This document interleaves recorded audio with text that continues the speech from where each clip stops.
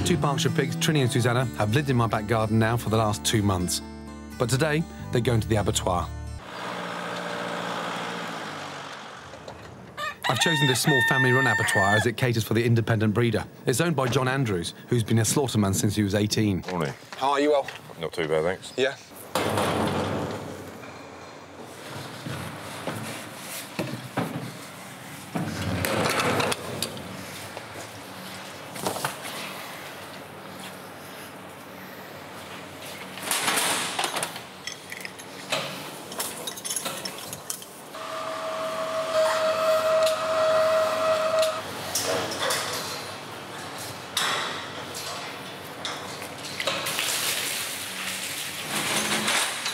That's it.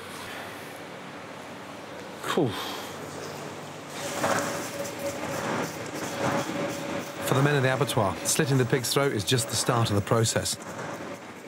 Then they put Trinny and Susannah in a scalding tank that removes hair and several layers of skin. The animal is shaved of any remaining hairs, then the pig is disemboweled. All right, so we're just going down there. It's an incredibly fast, skilled process.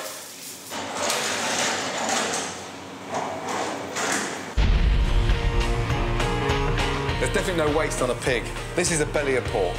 It's cheap and delicious. And look, it's got these wonderful layers of fat. It's packed with flavour. Score. Season. Olive oil. Garlic. Thyme. Season both sides and lay it on top of your garlic. Lifts the belly of pork off the tray and stops it from drying out.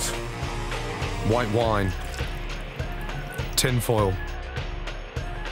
Hot oven, two hours. Look underneath there. Lovely.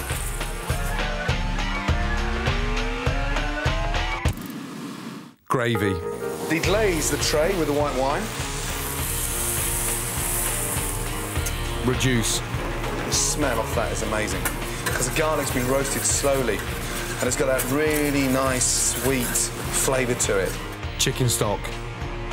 Reduce. We just smell that gravy now. You know damn well it's going to taste magical. Sieve. Push all that garlic through there. That is fucking delicious. Pressed pork. Place another tray on top of that Way down. and set it in the fridge. Chill, six hours.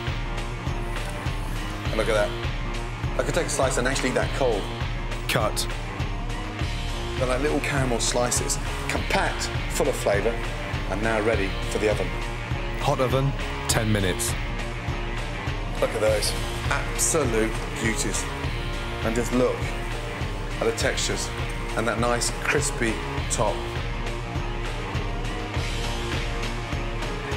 Rich, sumptuous, full of flavour, and absolutely delicious.